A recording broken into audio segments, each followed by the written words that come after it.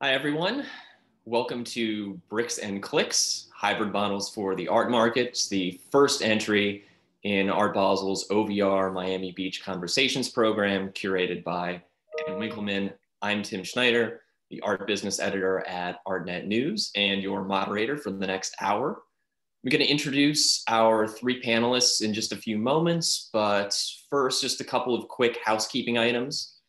Number one, we are aiming for the actual panel discussion to last 45 minutes. And then that will give us 15 minutes at the end where we can turn it over to the audience to ask questions, which leads us to how do you do that? The answer is if you look at the bottom of your Zoom window, there's an icon down there that says Q&A. If you click that, then you can just type whatever your question is into the box and we'll be able to look at it near the end. We'll also say you can put your questions in there at any point. You don't have to wait until the end of the conversation. So if something comes up 20 minutes in that sparks something in your mind, go ahead and punch in your question then, and I will just look at it once we get to the 45 minute mark. And on cue, someone just showed up to my door.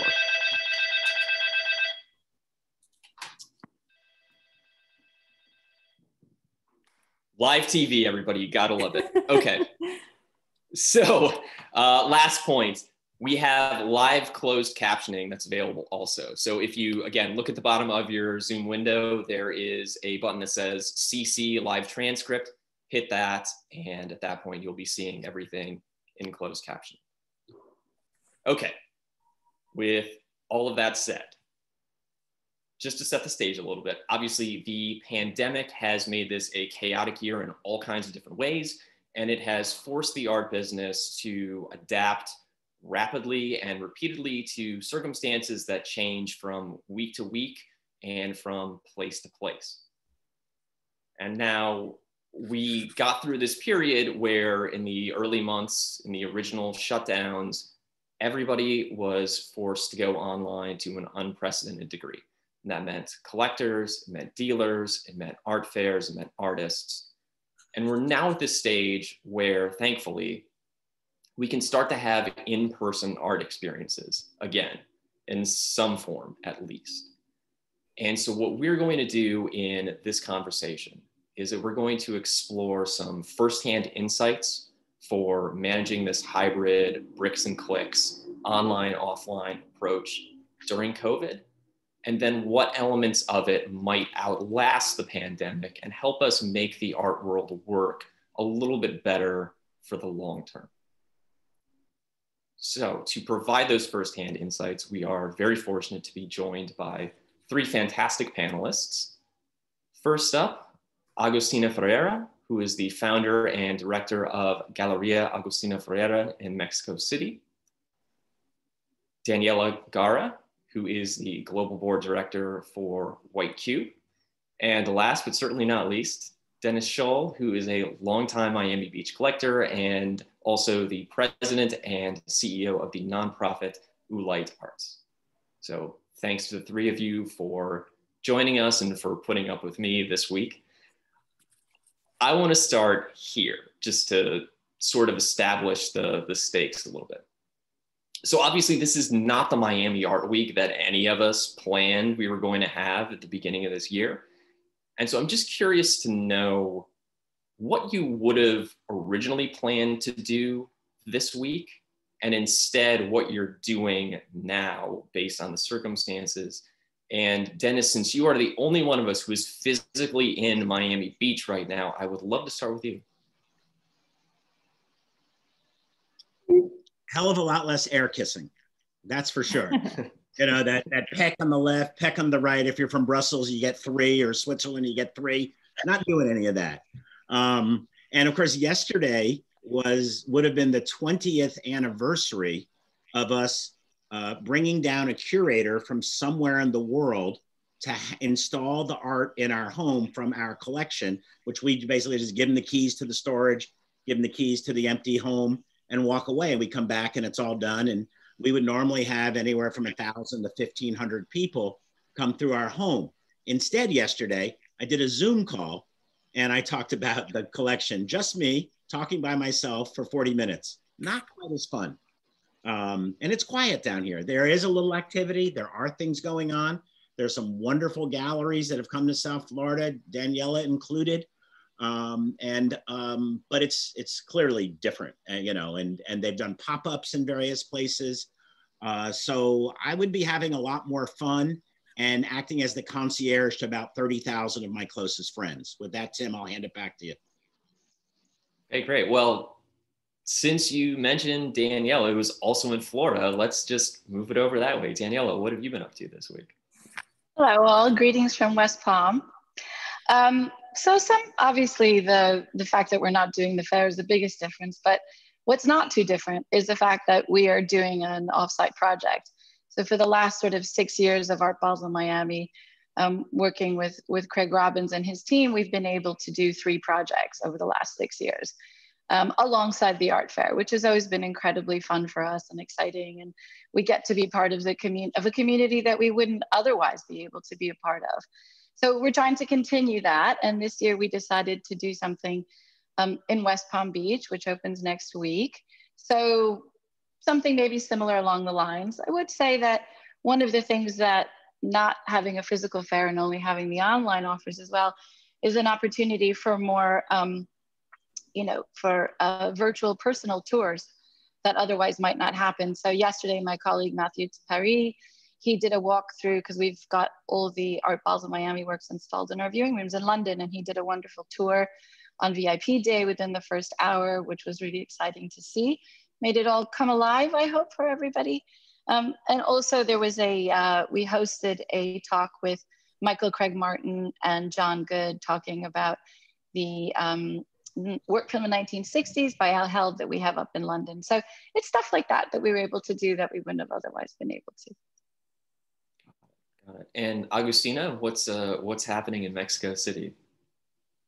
Well, I mean, it's definite. What's different is like you both said, we're not there and we're not doing the regular Miami thing, which to me it's very important because you get to see art and you get to to talk uh, physically with clients that you don't necessarily see uh, year long, but also colleagues. It's to me, it's very important to share with my colleagues and fairs are definitely a place to do so.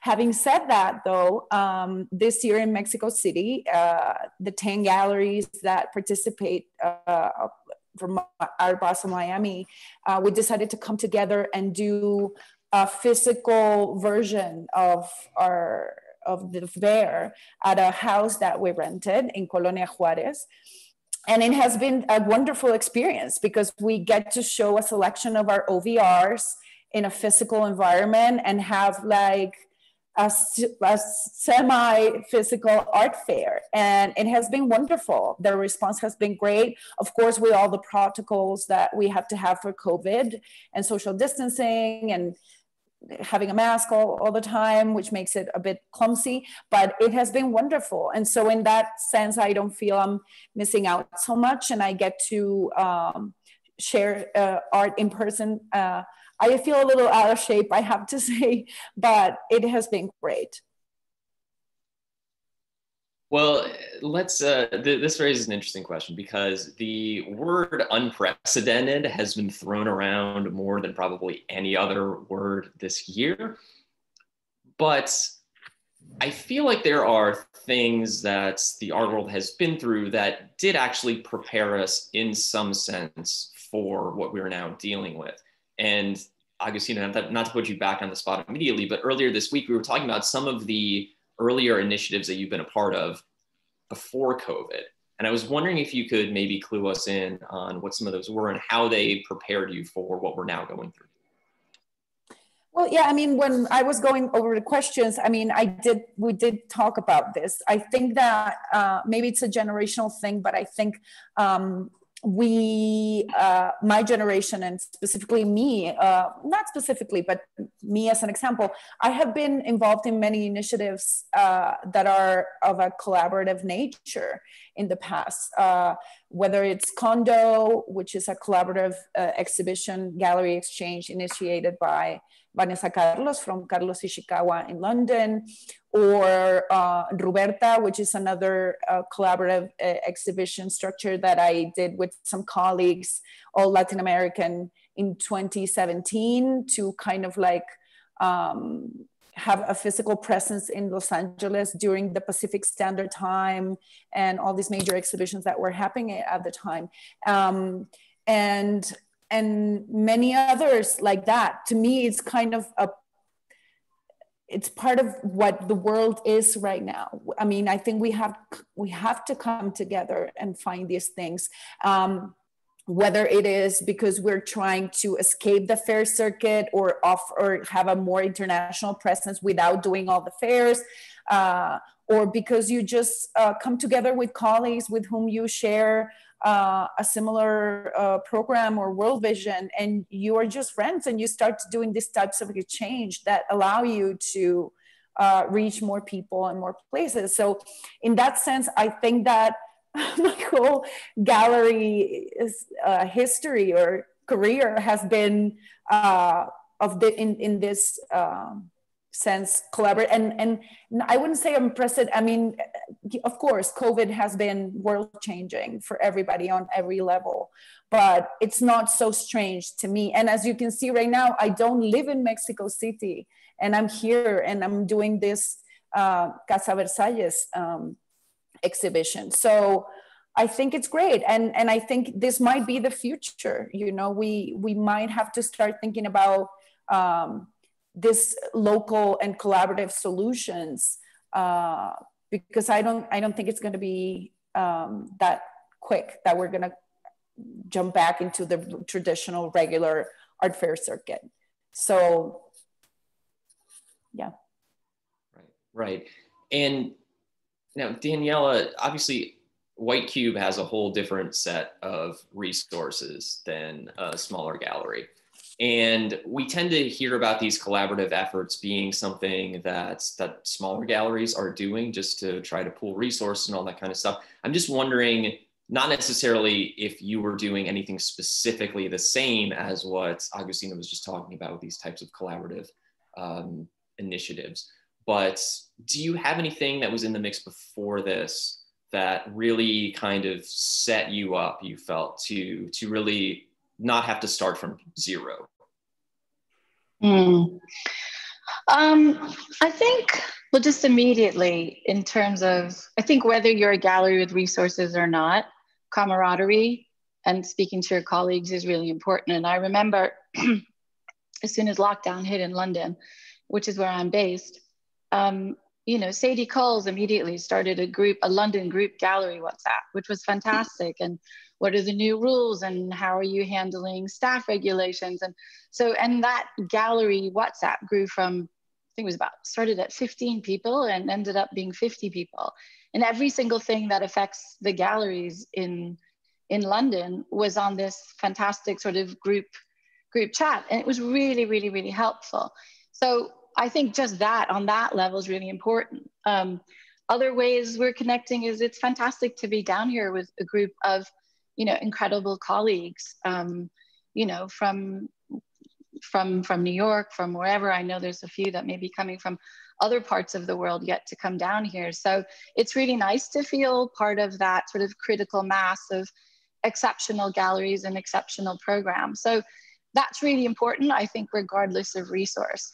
Um, what set us up, I think, I think the as a global gallery with a gallery in Hong Kong, two in London, an office in New York, and, a, and a, um, beautiful viewing rooms in Paris.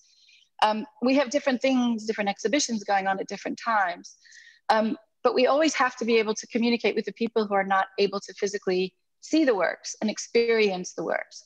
So I think what COVID did for us was basically precipitate our investigation of technology.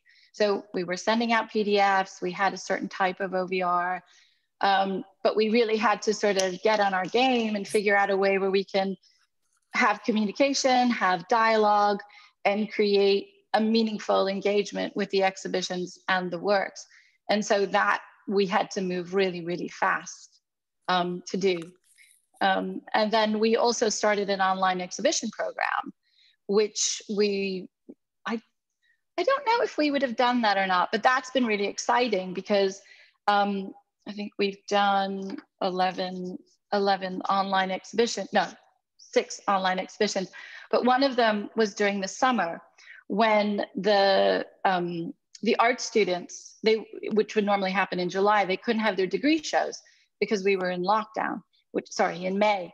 And so with the curatorial team went through all their all submitted portfolios and we did um, four exhibitions of five artists each and the graduates were able to present their degree shows which was a great exposure. Obviously no sales and anyone who wanted to buy anything went went back to the artist. So we engaged regionally locally but we're able to reach a super wide audience through this new platform which wouldn't have happened if if covid hadn't hit us.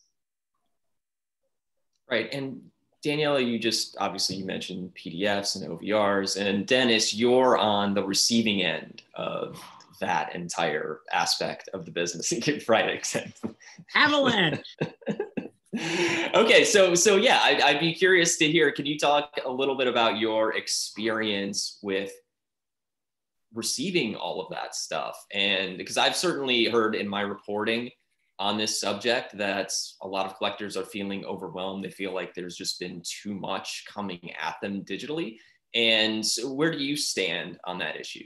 Well, I mean, I think that the gallerists have uh, a duty to find a way to get us the information, and this is the current model. Um, I think that uh, a couple things are happening. Uh, number one, it's much more difficult to learn about a new artist this way. You can learn about new art from an artist whose work you already know. You know, if you've been collecting an artist for a while and they have a new show, you've already got a body of knowledge as a collector that you can take and and use to say, you know, does this new show that I'm looking at online, I know how big approximately these are. I see that blue that he carried forward or that imagery that he carried forward or she carried forward. Um, so you have that. But if you're a new artist or a young artist, um, it's it's much more difficult because it comes from the sky. There's no way to, uh, you know, maybe it's made all of us look a little more with our eyes instead of our ears, which is a nice thing. Of course, that's a good thing because the art world, particularly the art world that we all operate in, sometimes the ears dominate over the eyes, and I don't really love that. But it is very, very difficult to uh, to look at new art. Um, the other thing that's happened, I think, is that um, we've all had a little bit more time and that's allowed us to dig in a little more and that's been fun. It's been fun to look at 40 auction catalogs a week as opposed to four and it's been fun to look at 100 online viewing rooms as opposed to maybe five or 10 um, you know as a collector that's just kind of like candy. You just enjoy doing it. Um, so so it, it it has been heavy but the thing about it is that is that it's very easy to say no and that's not typically how the art world works because if Daniela has something that she thinks is perfect for me and she sends it to me and says, Dennis, I'm going to look. But if but if a gallery just sends me their online viewing room as a mass emailing, that's a different story. So I think personalization is the key to getting through to the collectors right now. You've got to find a way to connect um, with your current relationships. You have to mine your current relationships because you know those people are still involved and they're still in the art world and all that. So uh, so I think personalization is a really big key to this, even though it's a very impersonal medium. You've still got to find a way to connect on a personal level. Also, before I give it back to you, I just want to give a shout out. One of my favorite artists in the world is online and uh, this is closed captions. So I just wanted to give a shout out to uh, Joseph Grigely, who I love as an artist dearly. So give it back to you.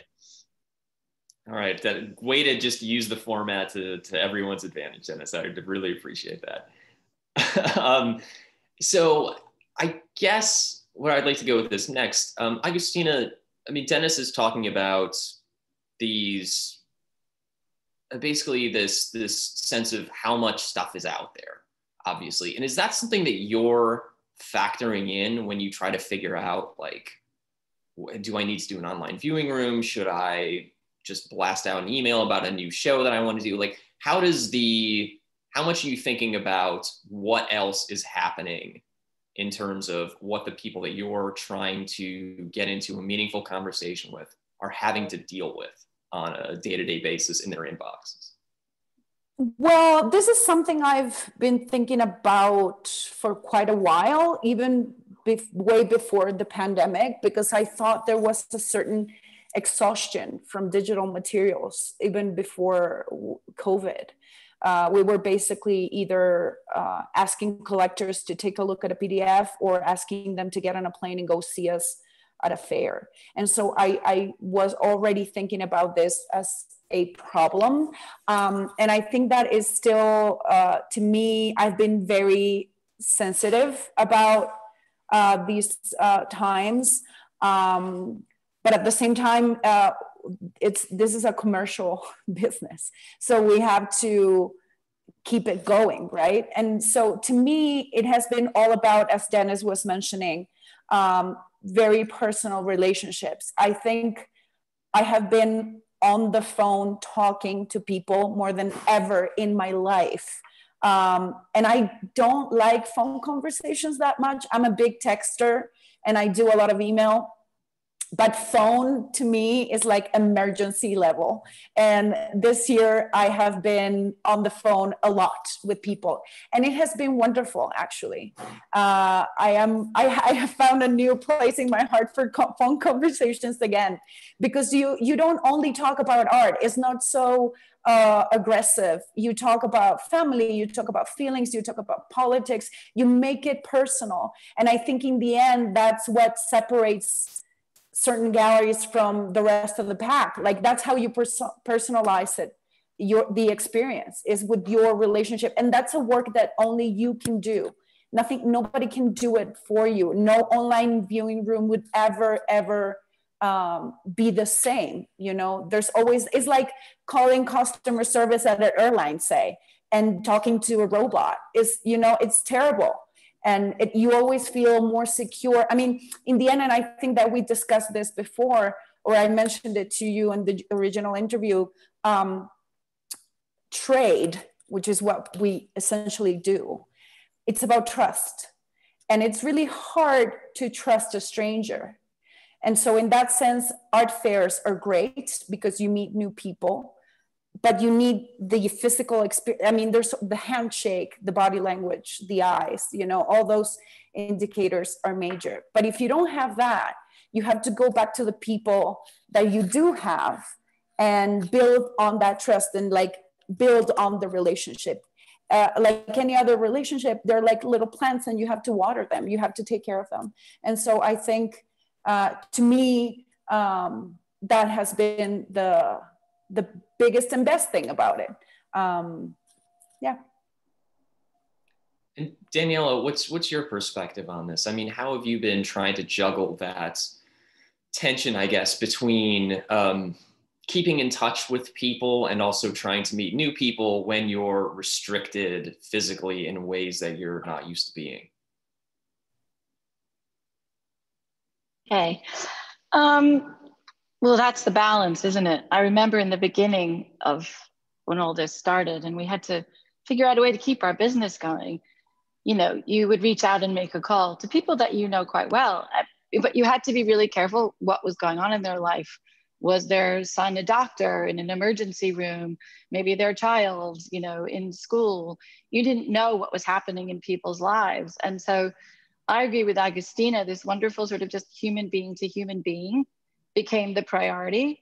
And then once things settled in and you you knew how to approach someone and just see where they are and see what's going on and make sure everything was okay. I remember in the beginning it was about just checking that everyone was okay. Are you okay? Where are you? Are you safe? That sort of thing.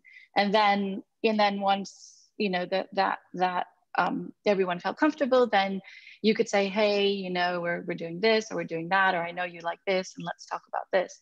Um, but it is all about the personal. And that's where I think Blix, bricks and clicks, clicks and bricks comes in because once we were able to start installing things in the gallery again, um, what I found the most satisfying and what I hope collectors like Dennis found the most satisfying was when we were able to literally walk through the show together or walk through the viewing room together. And, you know, can you go closer to this? Can you tell me about this? you know, it has to be about the people and it has to be about engagement. um, personal engagement with the person that's that's that you're talking to and then try and get as close to the art as you possibly can and i think that's the best way to do that having said that just on a more sort of broader perspective you know when we look at our offerings or our messagings or our you know exhibitions and art fairs and all the things that are going on in every gallery's life we definitely tier things. We look and see not everything goes to everybody because that would be madness. So you look at what's happening regionally where is that show? You look at pricing levels. You look at um, interest levels in the artists. You look and see what's happening in the museums when they're open again um, we just had Tracey Emin open at the Royal Academy. So there's, you know, linkage there to certain people. So we do try and be as sensitive as we possibly can while still trying to let people know what's happening at White Cube around the world. Um, but we do, Dennis, rest assured, we don't want to blast everybody with everything all the time. So, can I, can I add one more thing? Oh, please. Sorry. Um, you know, uh, just to to uh, further emphasize what Daniela is saying, uh, I think not only personalization, which is uh, human relationships, but also I I think it's really good on the positive side how uh, this pandemic has made us really think about what digital content is and who is it oriented to and in that sense, I think it has been wonderful to see how much uh, art has reached new people uh, and integrated other audiences, including people with disabilities of all sorts. Uh, True. Even like uh, psycho-emotional disabilities. There are people who can simply not go to an art fair because it's very crowded. They get very anxious. Um, you have uh, deaf people, blind people. So this is very important. And i think that this is uh, you know because art has always had that bad thing around it that it's so not for everybody but we always want to say that it's for everybody. And it's the, and some of us work towards that but in general it is still a very exclusive kind of um, space. And uh, and so I think this pandemic has really opened up the art world. And I think that's absolutely fabulous. And I hope that that is here to stay.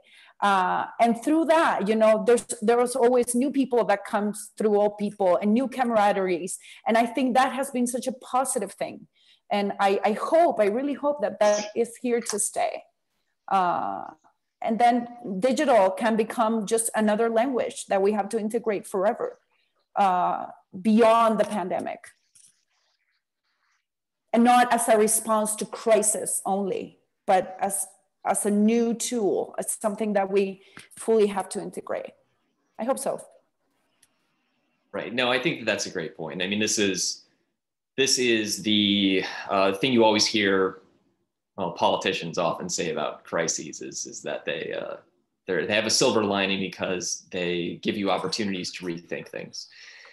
And one of the elements that people have had to rethink is regionalization, localization. I mean, we've talked about the quote unquote global art world for so long that I feel like people have just sort of sunk into that idea that you have to be everywhere all the time. And the pandemic has obviously forced us back into more a more local perspective on things. And I'm wondering if, if you think that that's one of the positives too, because it can help us make things more personal, maybe look immediately around us in ways that we hadn't. And Dennis, before we started the uh, the actual panel, you were talking about how you feel like this year there's been a much bigger focus on the artistic community in Miami Beach, and that that was a little bit of, of a difference from what we usually have during this time. Yeah, I, I oversee an art center, Oolite Arts, it, which basically just provides direct support to visual artists, including studios for two years at a time, uh, direct funding for their projects, etc. When COVID hit, we started a relief fund for artists, gave out money all, all over Miami-Dade County. And the fair has always been kind of a love-hate relationship uh, for the local artists, because in the beginning, the local artists didn't understand that the fair wasn't coming to promote their art specifically. Um, as time passed, they began to understand what the fair is, how it moves from place to place, how much how much money they could make in the gig economy by working for the fair, at the fair, for the galleries, you know, art art wrangling, things like that, and how around the margins a lot of people would come see their art, and it's helped immensely the artists in our community, even though we have very few artists in the in in the fair and uh, and very few galleries in the fair. It doesn't matter. You still get the reflected luster of it. The bright light shines on our community. But this year, it's been great because people still want art week here. We, we love it. We embrace it. It's, it, has been 20 years. And um, what everybody's looking at is local art. And so that's a really nice moment for the artists here. And the galleries figured it out. The museums figured it out. The alternative spaces like Locust Projects, uh, Dimensions Variable, they figured it out. So uh, it, it's a moment of self-reflection for us as a community where we step back and we say, you know whether whether we have the fair like we usually do or we don't we really care about the visual arts community as a broader community and so that's been really lovely and uh, a wonderful way to uh, to remind ourselves that uh, the artists here are of a very high caliber and, and deserve consideration. The other thing I would say is that we are a community that does support our local artists uh, quite a bit. And we've watched them climb the, the art ladder and wind up in you know, wonderful galleries and things like that. So it's a really nice week of self-reflection for us. Yeah, that sounds great. And and Daniela, as with White Cube being an international gallery, how has this move toward more localization impacted you and your colleagues and what you do? That is a, a, great question. And I was, when I was reviewing the answers for this, I really thought about that long and hard. Um, I think two things. I think it gave it gives us an opportunity to think regionally. You know, where has an artist not been seen before? Um, where is there a community of people that have not had an opportunity to see the work of whoever? And if the artist is interested in engaging in a project there or engaging in in could be anything from you know an outdoor commission to an exhibition to maybe going and speaking in a panel we're thinking more along those lines than just thinking sort of broadly, globally, internationally. So I think there could be opportunities for artists as well as, as the gallery to be more, um, yeah, to be more experimental, to be more strategic is where they, where they do projects. Um, I think also one thing I just want to mention about the silver lining of this is what I've enjoyed the most is people's responsiveness talking about artists, this continued way to figure out a way to connect people with the artists. And that's these amazing Zoom artist calls we've had. Um, and we've had several private, we've had several public. And as long as you maintain, you know, very high caliber, very high quality, it's a wonderful way to keep people people connected um, to, to the artist and the artist's voice, which is the main thing that we're trying to, to communicate on all the time. And when you have these Zoom artist calls, Daniela, are those mm-hmm. mass kind of webinar things like we're doing right now, or are those more personal curated things Both. that you facilitate with your collectors? Okay. Both. We've had six, uh, which have been, I mean, some of them we've done with on the Frieze and Art Basel platforms. We've done them on our own platforms. Um, only two were private and they were sort of a preview for an exhibition. Um, but artists have surprisingly really enjoyed that. And I don't think it's something we would have ever proposed to an artist before. Um, but the ones that we did, they were like, yeah, that sounds really great. And, you know, we had an amazing cross section of people from museum directors to curators to collectors to other artists to press and it was an engaging, informative, exciting conversation. Um, and everyone seemed to enjoy it. So that's one thing I think we're hoping to sort of to sort of continue.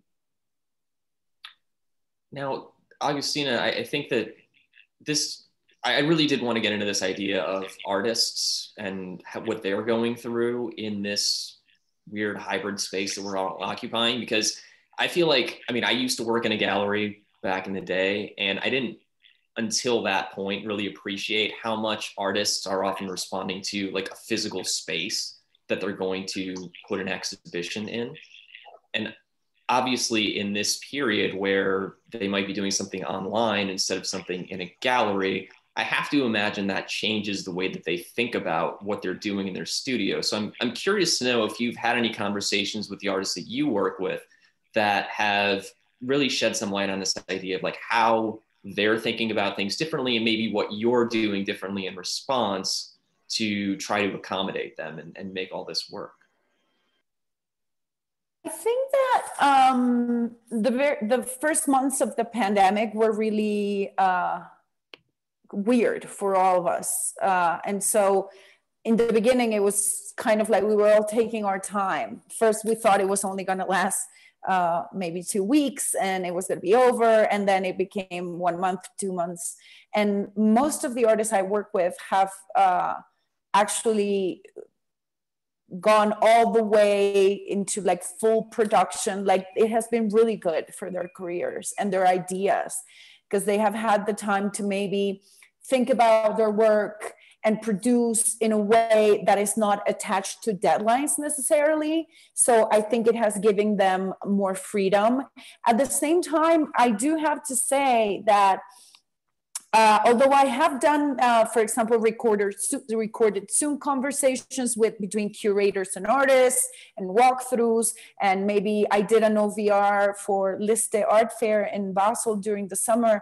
And one of my the artists I presented, uh, we were presenting a solo, and we were thinking about like in which way we could make it better. And we did a little video of that he uh, did in his studio uh, so it was his eyes on his work. And that was very interesting. Like he was making all the decisions. I think those kinds of things are interesting. But I also think that we don't have to demand this from artists. Like there is this very intense agenda now of like getting artists on Zoom calls, making them talk to collectors. And I personally don't align to that. I don't think all artists uh, are built that way. Some are more social and extroverts, and others are just about their work. So, one thing is for sure artists want to work and they want to show their work. Uh, that is fundamental. How we do that, I think, uh, in the same way Daniela was talking about how we present work to collectors, we have to be very careful. Not all of them speak the same language. For some, it's really hard to sit on a Zoom uh, and and and discuss things with people because they're socially awkward or they're anxious or they just want to work you know? So i think we have to be very careful and go case by case but as long as they keep working and, and we find ways to do it i think a, a, lot of good things can be done. And now as we start to the city starts to the cities start to open again and we start to show uh, more even if it's by appointment or whatever i think uh, it's almost as normal as it was you know in that in the sense of an exhibition program. Fairs are different but in terms of shows i think it's kind of um, going back to what it was and what's important really which is ex exhibitions. Right right. And and uh, just daniela to, to go back to you really quickly about this idea of different artists maybe responding differently to different technologies. Like when you're choosing artists or, or asking artists to do these Zoom calls, um, are you how much are you factoring in that like, oh, I know them, like they present well in in person normally, so they'll probably be good on a Zoom call. And, and like how much are you i guess maybe a better question is how much are you trying to tailor what you do with artists to the technology that you have available now whether it's zoom calls or something else think first and foremost, we we don't do random. We'll you know Zoom calls with artists. It's it'll be around an exhibition, um, or a or a project, um, and so um, you know when we opened Georg Baselitz in September, um, he was. We said to him because that was lockdown, nobody would come. Um, would you be interested in in in being participating on a Zoom call? And he was like, yeah, that would be great. Um, before Tracey Emin opened her online exhibition, um, which was eight paintings just online. She was very happy to do an invitation sort of into her studio and talk about the paintings. So it's really it depends what the project is we won't do it randomly and if an artist is comfortable and they want to communicate and show the work that's fantastic if they don't that's fine we're very very happy to do whatever an artist feels comfortable with um, and how they want the work mediated and we will follow their lead on that. Um, so yeah i think. Right i mean it's sort of a learning process for everyone i feel like. Yeah. Um, very much. Yeah, well, well, I get that raises an interesting question, which is, is there anything that any of you have encountered that you maybe thought was going to work at the beginning of all this, and then time has proven that oh, actually, my thinking about that was entirely wrong, and actually, the better way to do it is this. Dennis, I kind of saw you shaking your head there a second ago. What, what's your standpoint on this? I, I want to make two points. One about what uh, my colleagues were saying, and that is that I don't want anybody to be confused at all about the tremendous impact what we're going through has had on the creativity of artists. Uh, I have a stable here of 18 artists in, in at Oolite Arts, and um, it's been devastating. You know, some of them have continued to work aggressively, but so many of them um, are either you know struggling with what's going on emotionally they're struggling with family issues they're struggling with economic issues um, so yeah. I, you know, it, it, it's very important not to lose sight of the fact that uh, that this is a really big deal for artists and the the the aura in which they work in has been disrupted in a profound way and many many many of them have been having a tough time getting back to work for some of them, it's because their medium doesn't allow them to go back to work. I happen to be a documentary filmmaker, and uh, you know I've shut down my films for six, seven months now because who's going to sit for an interview? So some of them have been disrupted that way. Some of them are disrupted emotionally. It, it's very, very difficult to overstate what a big deal this has been to artists because that creativity is such a fragile gift and it's very hard to find. And when you do find it, you know, it's very hard to execute. That's why uh, the, the artists that we see it you know at art basel in in these best galleries in the world like like like my colleagues have um, you, you know that's a really small piece of the pyramid and it's very hard to get there and this year is going to impact that uh, tremendously the one thing i'm seeing to, to come back to the second part of your question Tim the one thing i'm seeing right now is that is that as restrictions begin to loosen and or people are simply getting bored of staying home that well, we were being very successful with Zoom events early in the pandemic. Um, that audience is beginning to fall off dramatically. In the beginning of the pandemic, there was no sports to watch. You know, there was there were less. You, you know, you'd worked your way through Netflix. You know, uh, those kind of things. But as of now, we're beginning to see the, the idea of Zoom events dissipate uh, in terms of audience willingness to engage I would say dramatically, but it is happening literally on a monthly basis that people are less willing to take the time. Today being an exception because we got hundreds and hundreds of people on here. But that's because of my colleagues. They're they're pretty big rock stars. So, but uh, but but but it's really you know that's what I'm seeing is I'm seeing that you know particularly now we're talking vaccine and only you know four or five months away. People are really ready to get after it the old way again, and I I don't think you're going to see as much engagement for some of these things that we've had to invent or to bring to the fore in order to keep all of our programs going. Can I just comment on, on that? Please. Um, I think that I think there's two levels, and I think you're right. I think people just want to be standing in front of works of art now, Dennis, 100%. And there's a real hunger, hence we're here. Um, but I do think we need to also think about the people that, you know, people in Indonesia who can't be here, or people in, you know, different parts of Europe or Africa.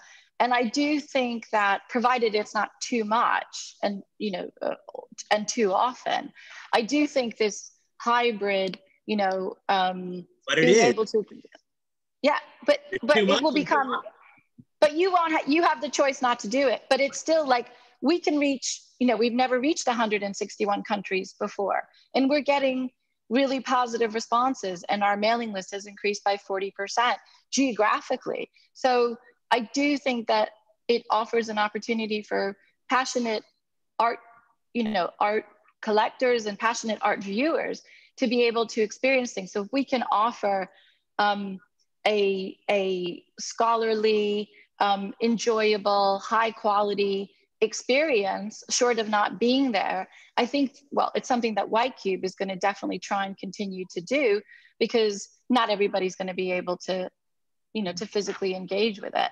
And so I do think it's just the it's the adjustment of how those two sit side by side, I think, and we haven't quite gotten there yet. And, and, and Tim, just let, let, me say one more thing about that, because because Daniela's right. One of the silver linings of this is that the way that we're operating right now has taken down the intimidation factor of the big white box gallery. Uh, it's taken it down, you know, 50%, 60%, 70%. You know, it was scary to walk into the into the big white box gallery and have the yes. person at the front desk down their nose at you and there's no price list and you walk around and nobody's, you know, you know, it's not like going shopping. And so this has been a real great opportunity for younger digital natives to engage with the art world in a completely different way. And that is what I think we're going to take away from this in a positive way. You're going to get a whole bunch of 30 uh, somethings, 40 somethings, even 20 somethings. They're called millennials. Millennials. Millennials are way, way younger. I have a, I, I, I work for millennials here. I have like 15 of them. But but you're going to get that group that may not have had uh, the willingness to engage or felt uncomfortable about the engagement process, even at an art fair. Uh, you know, so I think that is going to be the silver lining is you're going to get the next body of collectors may have been built during the pandemic. I agree with you on that. And that's something we're looking at in terms of behavior, age brackets, and and definitely the millennials, which there's some uh, fantastic statistics that you know they buy 80% of what they do they do online they need that immediate sort of engagement online. And i think in 2030 you know their net worth is going to exceed $4 trillion so this platform allows galleries like ours Agustina to to foster interest in the language and in a way that they like to communicate and engage yeah. So good I point mean, dennis. Thank you. I mean it's no doubt something that uh, has stressed it's not necessarily related to the pandemic but most of the business that i conduct with collectors that are uh, younger than below 50 let's say um, it's through whatsapp and instagram. So it's definitely uh, in that sense it is very important.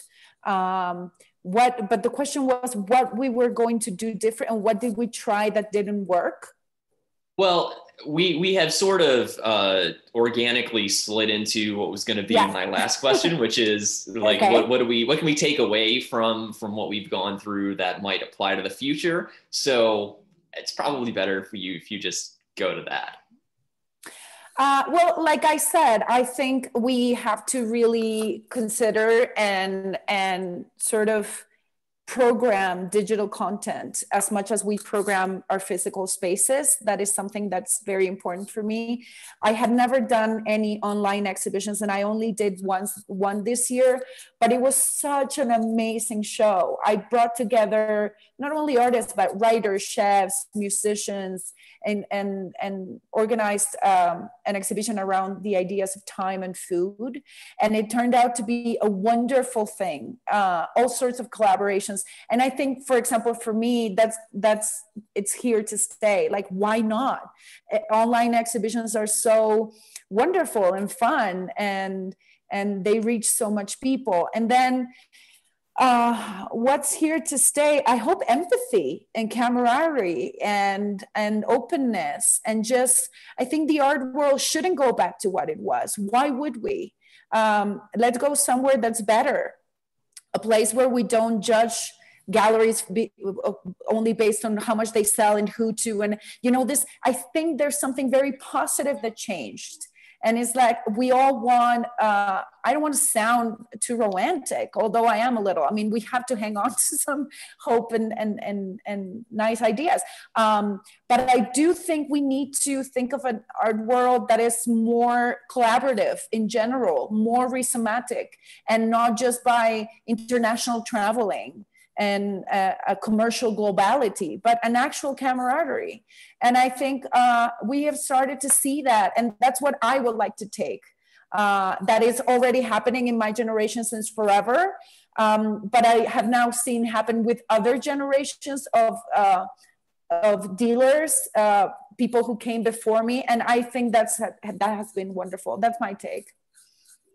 Oh, I think that that's that's beautifully said, and I mean, the romanticization aspect is important because, like, if we didn't all, I, I just fundamentally believe that that people who are in creative fields are inherently romantics, and that's a good thing because if we didn't have some kind of hope for the future, if we didn't make that this, if we didn't believe that this thing we're doing could make the world better in some sense, like we'd all work in a bank. It, it yeah. just wouldn't be, we wouldn't be doing this. Are we going to so I, now like some kind of like Coca Cola song or something? This is really. Let's hope not. Yeah. We, uh, no, do you want to start, Dennis? I'll try to join in if I can dreaming it dreaming dreaming it is a way of planning it too thinking about it right it's a way of planning it too kind of putting that intention forward i, I do want to say that you know uh, makers are going to make uh, gallerists are going to show and collectors are going to collect that's not going to change i bought during this last six months i bought 30 works of art and uh, you know it, it's it, that's about what i've averaged for the last 40 years uh, if, you're a collector, if you have the collecting gene, if you have a collecting Jones, as I like to say, um, you're just going to keep doing it. You're going to find a way to do it. Uh, you know, the one thing we didn't get to talk about, and that could be another panel, uh, is is is what's happened with price points online. You know, we all used to be willing to buy something online for a couple grand. I found myself bidding last week on something for mid six figures online that I hadn't seen that's another big shift that's come out of this is that is that where we're willing to enter in an online uh, re- relationship with a piece of art has changed dramatically. It's it, it's that's the future. That's that's what's happened. And the auction houses are is a good example. You know, they've got too many auctions now. They haven't figured out a way to strike to strike a good balance. That's another place where you know the tsunami just kind of falls on you. But uh, everybody's going to keep making everybody's going to keep showing and we're all going to be out here for you collecting. So that's the most important thing. We haven't somehow lost that that emphasis, um, and I think that that's the uh, that that's that's the future. Yeah. So we have we've already sort of started to cover some of the questions that are coming in the Q and A, which I feel like is a, a good thing. Uh, so I'm going to start to shift more over in that direction now, now with the, the last few minutes that we have. So one thing that people are asking about is this idea of finding new artists in this time and how that has changed given the restrictions that, that we're going through. So that's probably more of a question for Daniela and Agustina, but um, do you have any insights on how you're looking differently at emerging talent? Um, no, I think I'm going about it the same way. The only thing that could be different is how I reach out to them because usually you would get on a plane and schedule or schedule a studio visit for a time that you will be in town because of a fair, like things like that.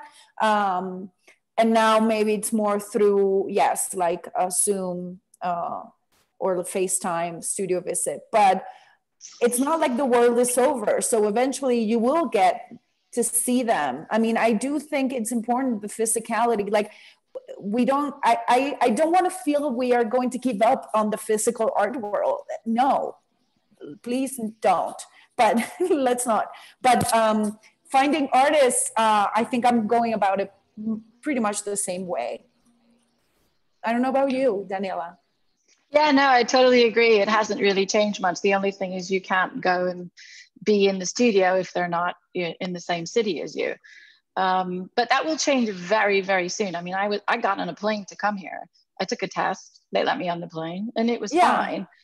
So I think I think that's going to change quite shortly. If anything, perhaps we have more time to really research artists um, because we're not on jumping on a plane here, there, and everywhere all the time. So we can read and we can really learn and we can inform ourselves and have conversations with other artists who are looking at other artists and hear what they're looking at. So it's probably a more fruitful time. Um, and then, as Agustina says, as soon as you can get in a plane and get in the studio, then then that's great. But we've done some fantastic sort of studio visits on Zoom with the artists. We've either we've also done uh, Zoom calls with artists in their studio with curators who are working on upcoming shows who hadn't had weren't able to go to the studio yet, and and that seemed to work. So probably more time to bring in artists in in a more meaningful way. That's interesting. Now, another question that came up in the Q&A is about like we've talked a lot about Zoom, we've talked about online viewing rooms, but people want to know how social media has factored into your strategy during this time. And Dennis, maybe I'll start with you just because I'm curious to know what your social media diet has been as a collector. Yeah. Well, I, I actually, my social media feed, the one I put out to the world, was named one of the top 50 collector uh, feeds in the world by one of these, uh, you know, places that keep track of collectors and all that. So I enjoy doing it to pushing it out. I have to say that I don't, um, I don't see much art on Instagram that develops into something other than Zoom, you know, flicking my finger to the next thing. Um, so Instagram for me uh, is is more of an output as opposed to an intake. Um, whereas all the things we talked about today, online viewing rooms, the auction houses, uh, uh, you know, JPEGs from a personal email from a dealer, that continues to be my diet of, of intake. You know, that's where I'm I'm seeing things. And the other thing is I've always listened to other artists and I continue to listen to other artists about other artists. And I continue to maintain my dialogue with curators. Uh, you know, curators are the best kept secret in the art world in terms of how valuable they can be to a to a collector. And all you do is, you know, help them with a show or help them with a catalog or something like that and access to those curators. And I've, I've had that for many, many years. They really know what's coming. And so, um, so I haven't changed who I'm talking to. I've simply changed the inputs that I'm taking.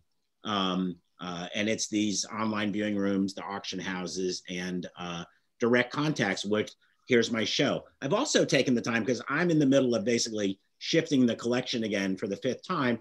And Debra and I are only going to work on works on paper for the next 10 years. And we've been busy at that for, for the last couple of years as we shifted away from this big uh, Aboriginal Australian contemporary art project we were doing. And I've taken this time to make sure that the gallerists that that that know me know that that's what we're looking at now, and that's all we're looking at. Because it really helps as a collector if the gallerists know what what you're into, you know, whether you like blue things or drawings, or it really doesn't matter what it is. It's just that they have a little, you know, a little notebook, and they say, ah, Dennis likes, you know, drawings. And when they get something great, you know, you get contacted early. And the fight for material hasn't changed. You're still fighting for the good stuff all the time. You know, there's not a, people don't think this is true, but there is clearly, particularly the blossoming of the number of collectors in the world, there's never enough good stuff to go around. Right, right. And especially for now in this this stage where more things are more accessible to more people through more mediums, and in yeah. theory, that might just increase yeah. the, the puts a lot of pressure on the gallerists too, because yeah that's the other thing that hasn't changed. They want that work to go someplace special. And, and right. special in the international art world means a good collection, somebody who's not a flipper, somebody whose long-term intent is to give it to a museum, et cetera, et cetera. That pressure hasn't changed a bit. You know, it really hasn't. Right, right. Um, Agustina, just because you mentioned before that uh, phone calls have not been your thing traditionally, um, how has the social media aspect changed for you?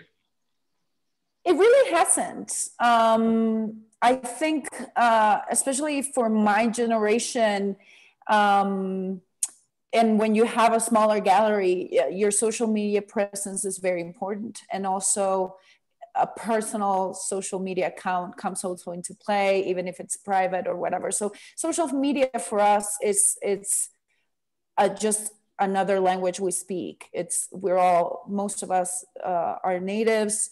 Um, and so it's something that we do. And you do get to see through the statistics, which is interesting, who follows you, their age group, uh, their location, everything. You can pull all this information that is really useful.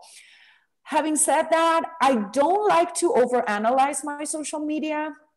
Uh, I mean, I know it's there. I know it's a tool. I use it. I promote my artists, but I don't live through Instagram.